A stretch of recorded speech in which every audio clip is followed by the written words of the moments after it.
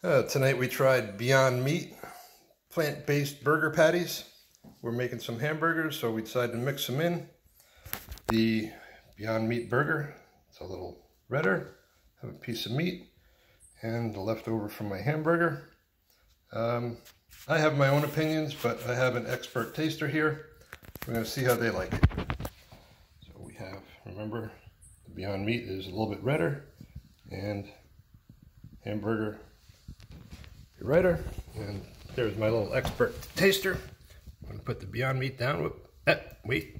Okay, so we have Beyond Meat here and hamburger here.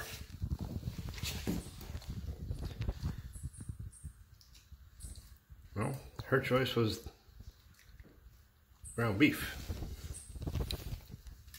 How do you like Beyond Meat? No?